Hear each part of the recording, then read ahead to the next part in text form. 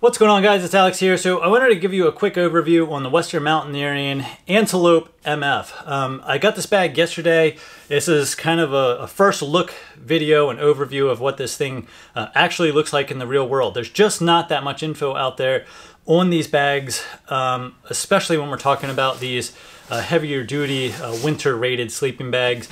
Um, and there's just not that much info out there on winter sleeping bags to begin with. So I have not slept in this bag and I just want to give you a brief overview of what this thing is and uh, maybe talk about exactly why I purchased this over all of the other um, sleeping bags or quilts out there on the market currently. Also, all the stuff that I say in this video is just my opinion based on my own personal experience with um, a lot of different quilt and bag manufacturers. Um, I've had bags and quilts from a lot of major manufacturers, including and cottage vendors, including uh, Marmot, Feathered Friends, uh, Western Mountaineering, Z-Packs, uh, Enlightened Equipment, Jacks 'R' Better, and there's another one, but I can't think of it off the top of my head. So I have a decent amount of experience with down products, and I also have a decent amount of experience with how these down products are put together because I've also made my own uh, gear uh, down products as well. So I have a pretty good idea of how these things are put together and what's involved in making them. And, you know, to top that all off, I've done an awful lot of testing with sleeping bags and quilts, uh, whether it's in my own backyard doing testing at like, you know, minus six or minus seven degrees Fahrenheit, or it's out in the woods testing it on a mountaintop in minus four degrees Fahrenheit with like 40 mile an hour winds blasting you all night. So that's kind of where my experience lies in using this stuff. I've also worked outside for the majority of my life and I rely on down products to keep me warm when I'm outside in a working environment. And I have a number of different down jackets and I've, I've seen a lot of down stuff. We'll just put it that way. Uh, but anyway, let me give you a quick overview of this bag and show you what it looks like in the real world. And uh, we'll, yeah, we'll kind of go from there. All right, so let's quickly talk about why I chose this bag over all the other bags currently on the market. First off, I think that uh, this bag in particular provides the absolute best warmth to weight ratio of any other bag quilt hybrid currently being sold at this moment in time, right now, on our journey around the sun. Now I know that sounds kind of like a bold statement, but based upon my research and again, based upon my experiences with other manufacturers' bags, um, I think, especially now that seen now that I've seen this, I think that that is definitely the case. So first off, let's quickly go over some of the real world specs on this bag. Um, I am 5 foot 10 inches exactly without shoes on. I'm not one of those people who say he's 6 foot when in reality he's five nine. I'm 10 foot uh, I'm 10 foot. I'm 5'10 exactly without shoes on to the very top of my pointy head. This bag fit, uh, fits me perfectly. If I was 6 foot, I would probably look into getting the, uh, the, the, long version of this bag. Um, 510 is about the max comfort zone that you're going to have with this, especially if you're talking about possibly wearing some down booties inside here or uh, throwing some gear at the uh, foot end of the bag. My feet do not press against the bottom of the bag and my head does not press against the hood. Um, they're very close though and again if I was taller I would definitely get the, uh, the longer version so that I don't compress any of the loft in the top and in the foot box, especially when you cinch down the hood. That's extremely important because as you cinch down the hood, the bag actually gets slightly shorter. Um, you know, this has to come down like this and it kind of shortens the bag.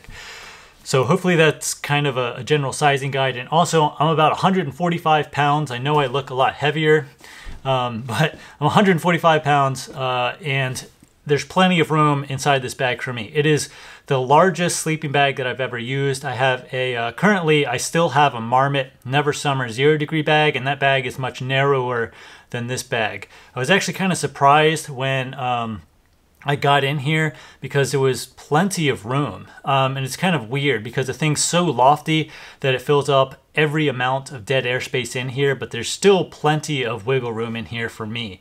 I'm not the biggest person in the world. Um, I do have rather long, uh, long gangly arms and long gangly legs, but there's plenty of room for me to spread out in here and sleep on my side and everything like that without compressing the down and weird stuff happening. And also, if I wanted to, I could put my giant Feathered Friends down parka on inside this bag without compressing any of the down inside the bag or on my down parka.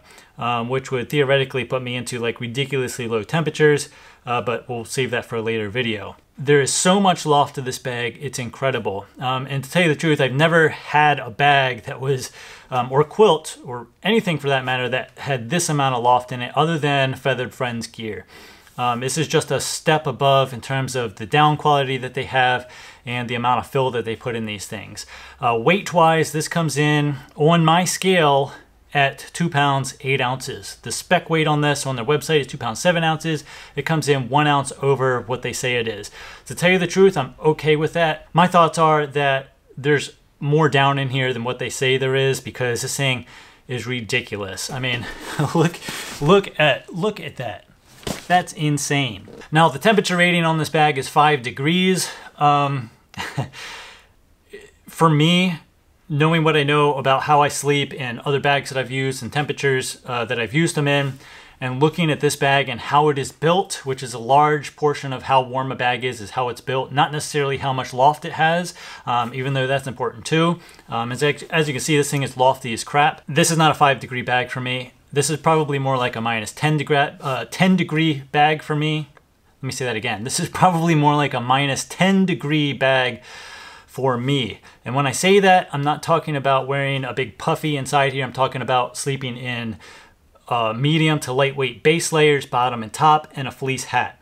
This is probably a minus 10 bag for me, based upon my experiences with other bags and how this one stacks up against those. One of the reasons why I chose this bag versus all the other ones, and one of the reasons why I think this bag is um, a better weight to warmth ratio is simply in the way that it's built. Um, if you look inside here, it's gonna be kind of hard to get at this camera angle, but the draft tubes on this thing are insane. And a large portion of why um, sleeping bags and quilts are warm is the ability to keep that heat inside of them. You don't want that heat escaping around your neck or around the footbox area or anywhere. So the, the more heat that you keep in the bag, the warmer it's gonna be. Um, this bag is going to be extremely efficient because of this giant neck baffle. Of all the bags that I've had and all the quilts that I've had that have been rated to zero degrees, this one has by far the biggest, the biggest baffling. It's almost kind of silly looking um, how much how much baffling is here. But when I'm using a bag in really cold temperatures, the area where I notice the air the most, guess what? It's right around the neck, whether it's in a quilt or a sleeping bag. It's also in a sleeping bag, it's also around the zipper. And let me bring you over here and show you this draft tube and how it works because it's kind of an ingenious design. So when we're talking about sleeping bag warmth, one area that cold air can get in is through the zipper. Uh, since sleeping bags are relatively easy to get in and out of, the zipper's along the side rather than underneath of you like in some quilt hybrids. I like the zipper on the side because it makes it really easy to get in and out of in cold conditions. Uh, the less fiddly something is when it's minus five degrees out, the better it works for me. Again, that's just me and my personal experiences. Now, sleeping bag manufacturers, in order to keep the cold air from getting in the bag, put draft tubes along the side of the bag. And again, Western Mountaineering has overdone itself in the draft tubes here. There's no doubt in my mind that this is going to keep out the nastiest of drafts through the sleeping bag. Now, other sleeping bags that I've had have had okay draft tubes, but one of the problems that I've had with them is as I'm laying in the bag and kind of wiggling around, the draft tubes can kind of, and I, there's no way for me to show this to you, but the draft tubes kind of push up into the side of the bag and expose the zipper um, especially with your hands along your sides. You can kind of run your hands into the zipper and feel that cold air and you get cold spots. With this bag, because it has this stiffening tape for the zipper, which allows the zipper to basically zip up and down without snagging. It's the best zipper I've ever used, period, hands down. Um, this draft uh, stiffening tape here, draft tube stiffening tape here, actually it does two purposes. It keeps it out of the zipper, but it also stiffens the draft tube and holds it in place. It's kind of an ingenious design, and I can't believe how well it works. And I don't think that Western Mountaineering originally um, intended for that to be the case, to, you know, to hold the draft tube in place. But I think it kind of worked out that way, and I think they, they probably stumbled onto this. I might be wrong. I can't imagine that someone was smart enough to add the stiffening tape to this to keep it out of the zipper and to keep the draft tube in place. It just kind of blows my mind, but it's there and it works beautifully. This draft tube, it's almost impossible to pull this draft tube up and out of the way inside the bag when the zipper's closed uh, with your arms, you know, just kind of naturally rolling around. Um, and this is hugely important when you're talking about really cold weather and sleeping bags uh, is to keep that draft tube in place. So again, I want to show you the, uh, the neck baffle here. And this is another area where if we're talking about sleeping bag and quilt warmth, this right here is what you want. You want to keep as much of that warm air that your body is working. It's literally working to make that warm, you know, it's working to keep itself warm. You want to keep that inside the bag. And this is by far one of the best ways to do that is to keep it from escaping the bag in the first place. Again, in all my experience sleeping in cold weather, the areas where cold air is a problem is around the neck and along the zipper, especially in sleeping bags. In quilts, it's a whole different story. We're not really going to get into that now. Um, there's a lot of uh, worse things that can happen with quilts in cold weather, which is why I don't really recommend them uh, for someone who is uh, first getting into this or you know looking into sleeping in really cold weather. They just don't work as well um, they're not thermally as thermally efficient as a, uh, a, good quality sleeping bag is in cold weather. So a large draft collar around the neck area was absolutely essential for me when uh, you know looking to purchase a cold weather sleeping bag. Um, they even gone as far as to add stiffening tape here along the draft tube so the zipper doesn't snag that as it goes by and it works crazy good. Once the zipper's up, Velcro, um, the cinch cords work amazingly. I've had uh, bags in the past where these just don't work that well. The cinch cord along the draft tube, again, works amazingly. Um, it seals up all of the air that could possibly get into the bag. It's just a really well thought out, uh, really well designed. I can't stress enough how important that is when we're talking about sleeping in cold weather. So sorry, I'm kind of like twisted around here showing you this, but, and I'm gonna say this a lot check out the, the, the loft that's in this hood here. And this was another really important area for me was to have a really good functioning hood because, you know, sorry, I'm talking to you upside down. Let me adjust this. One of the things that I really dislike, I wish I could get the hood in here. There we go. About um, cold weather activities is wearing a hat. Um, after you've worn a hat for like three days at a time, it can start to feel really constrictive, at least for me. Um, one nice thing about having a really good hood system with a, uh, a, sleeping bag is that you could take this off if you wanted to and sleep in an, a, a, much lighter weight hat that's not as constricting and less warm. Um, you've got plenty of loft here to keep your head warm in five degrees or below conditions. And you don't have to worry about, um, you know, really bundling your head up if we're talking about comparing sleeping bags uh, to quilts. Because with a quilt, your head is basically just exposed from the neck up, and you've got to take a really warm hood system um, in order for that quilt to be effective at that temperature range. And that's, again, it's a whole nother video. Um, with this, I can sleep in here with no hat, and I have before. I've slept in uh, a couple other bags down to like minus four, minus five degrees without a hat on. I've just cinched this down and it's been much more comfortable for me in that regard. So having a really nice, really lofty hood was super important for me. So let's quickly talk about the elephant in the room here, which is the loft of this bag. It is ridiculous. So the thing with this bag, and this is where we could kind of go down a rabbit hole of what's better and what's not better.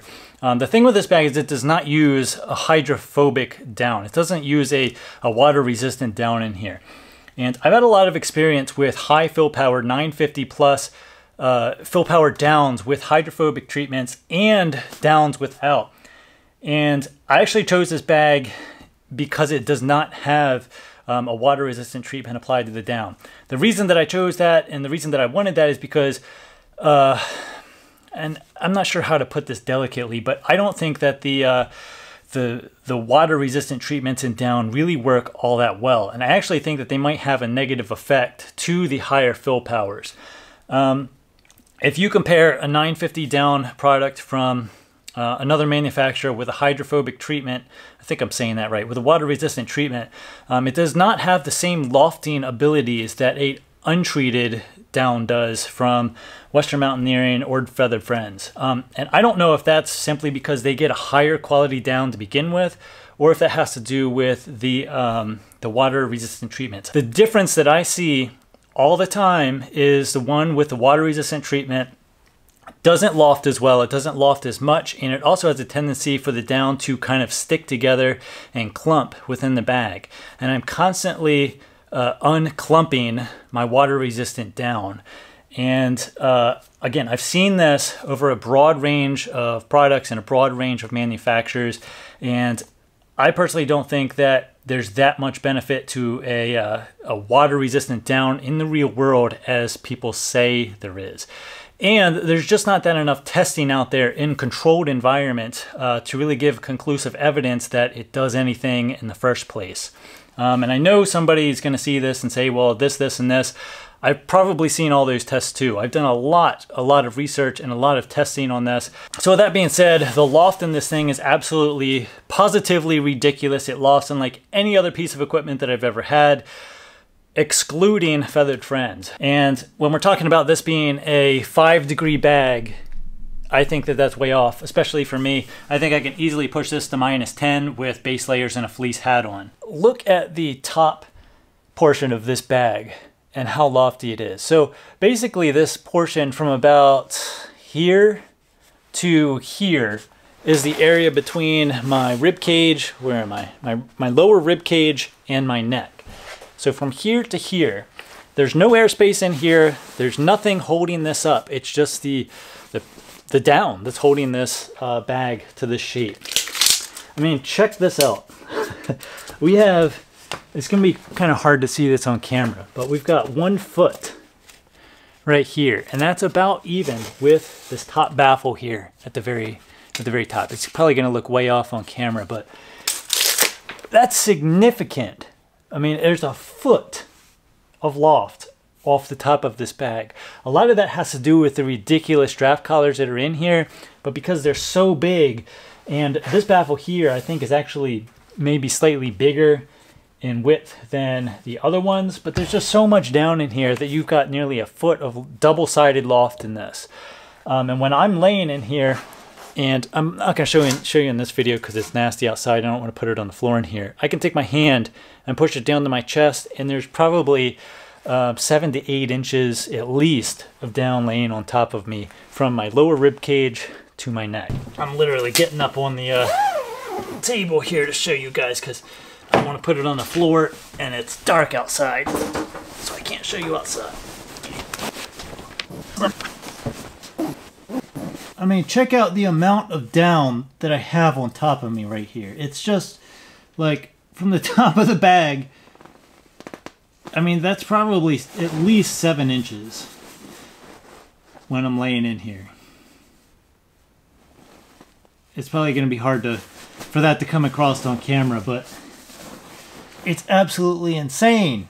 I'm like immediately getting hot and it's like 45 degrees in here. So another thing I want to mention real quick is that in this area up here, it's perfectly shaped for the human body to lay in. The problem that I have with a lot of the other sleeping bags and especially quilts is that they're not, um, what's the proper word? Anatomically shaped to the body. I hope that's the proper word. It's the first word that came to mind. They're not shaped the way a human is shaped. Um, a lot of the quilts and sleeping bags that I have experience with in the past, especially the ultralight ones, are just a square. And that square doesn't conform to the shape of a human body very well. And what I found is that the tighter you pull the, the collar around your neck, the colder it gets. So you're kind of like a double-edged sword. If you leave it open, uh, it allows the quilt to loft nicely around your shoulders, but you get a bunch of uh, cold uh, air coming in your sleeping bag or warm air coming out, however you want to look at it. And then the second that you pull the cord shut around your neck to seal off all those drafts, you end up getting cold shoulders. Not in this bag. Um, that's because it is shaped. I mean, look at all the panels that they have. Panel here, panel here, panel here, and they're all different shapes. So that the bag is actually the shape of a human body and you don't get the cold shoulder when you cinch it down. If you cinch the hood down all the way, you still have like four and a half inches of loft on your shoulders. So you're not compressing the insulation in any way um, as you bundle up in this thing. So I hope I'm not forgetting anything here. Um, again, this is kind of just a first look and a brief overview of why I chose this uh, over any of the other bags on the market. And I don't know if I said this before. It depends if I'll edit it in or not. Um, but my budget for purchasing a winter bag was unlimited in that um, I wasn't basing my decision off of price. I wanted the best bag that I could get for my needs, and that just happened to be this one um, from the research that I've done. There's a lot of other stuff on the market. Some of those things might work better for other people. Um, just kind of use this video as a general guide. Please don't make a decision simply based on this video. Do your own research and your own testing before you go and spend the money on this um, and purchase it from a place that has a good return policy.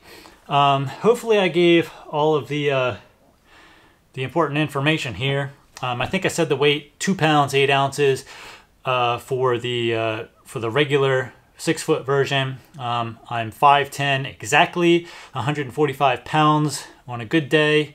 Um, I'm skinny, physically fit, and this bag for me will probably go down into the minus 10 degree range with base layers. Just based on my experience with a bunch of other bags uh, from different manufacturers and uh, Loft and um, all that other good stuff. Um, one thing that I, I kind of want to leave you with, if you're looking, if you're relatively new and looking into purchasing a bag, don't purchase a bag simply on how much down is inside this bag. I think I said it before, but there's 26 ounces of down in here, but I think there's a little bit more um, simply based on the weight and other factors. Um, the amount of down and even the amount of loft, single-sided loft that a bag has is not the only indicator of how warm it is. Uh, the bag efficiency and the bag cut have a lot to do with how warm a bag is and how warm um, you will sleep in the bag depending on your sleeping style. So again, when you're comparing bags side by side, make sure that you're not just comparing the amount of down that's in the bag um, and the single-sided loft that's in a bag. Take a look at the entire package. How big are the draft tubes and the neck? How well and how much down is in the hood? How well is the hood designed? How much down is in the hood? Um, draft collars are a huge, huge uh, uh, deal for me. They're a deal maker or deal breaker. This had some of the biggest draft collars that I could see other than maybe Feather Friends. And to tell you the truth, the reason I purchased this bag over the Feather Friends bag was simply due to the uh, outside fabric. This came in a lighter, more breathable fabric than the Feather Friends uh, Snow Bunting did, which is the equivalent bag. Um, down-wise, they have approximately the same amount of down. That uh, bag's rated to zero. This bag's rated to five. Um, I think they're generally speaking going to be the same warmth to each other. That bag's a little bit more narrow cut, so it might be a slight bit warmer, but you know it's hard to compare. Um, you know, five degrees one way or another, um, especially if you're considering uh, bags by two really good uh, manufacturers that pay attention to the details like uh, the way a bag fits around you, draft collars, how the zippers work, how the draft collars uh, stay in place. All of that makes a huge difference in how warm a bag or a quilt is going to be for you. So just take all of these factors into consideration. If you want to see something else with this bag or something that I didn't show, let me know in the comments and I'll try and get that out. Um, again, I'm going to start loading uh, backpacking gear videos here um, and I'll probably just leave my trip videos on the other channel because I think more people appreciate them over there. And I'll do the gear stuff over here just because it's fun to do. Two other real quick things as I'm putting this away. This is the storage sack that this comes with. It's made out of a relatively heavy duty material, which I like. Some of the other uh, sleeping bags and quilts that I have come with a really super thin, flimsy storage bag. And uh, I'm always afraid of like just ripping through that in my closet. I'm not afraid of ripping through this. I think it's going to protect the bag a lot better. So very happy with this. It also comes with a stuff sack, which is relatively heavy duty. Um, it holds the bag barely. It's uh, relatively tough to get it in there, but it does fit. Um, I'm going to replace that bag. I don't have it here. Maybe I'll throw in some B-roll um, with a Cuben fiber dry bag if I can find one big enough. Uh, I might have to make one, but yeah, it does come with a uh, storage sack and a compression sack. And that's what it looks like in the storage sack, which no one cares about.